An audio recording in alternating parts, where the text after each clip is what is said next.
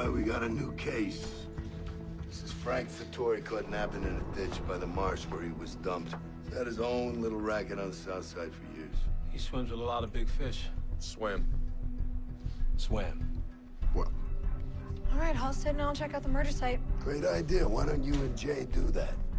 Everyone else go through the confidential files on Taylor Street, Bridgeport, Chinatown, and Melrose Cruise.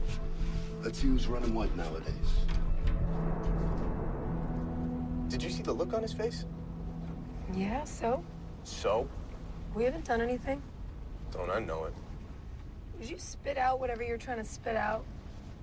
Okay, maybe this last month I don't like being the guy you used to get a rise out of your father figure. You wish I was using you. Oh, I'm serious. You have issues? You need to work them out. Work them out without me. I repeat, we haven't done anything, and if you want to keep it that way. Hey, that'd be great. All right, perfect. Fantastic. You done? I was done long before this conversation started. Really? Then shut up.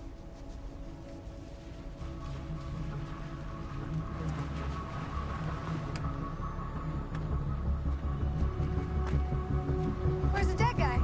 Homicide already came and went. To the crime lab, then the morgue patrol. Thanks.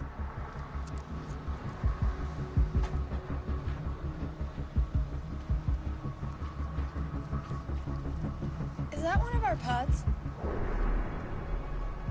Dinner at the Purple Pig. It's got the dump. Those things suck. I don't think so. Besides, you just told me to shut up and then we're done. No, you told me we were done, but a girl's gotta eat. Now you're hungry.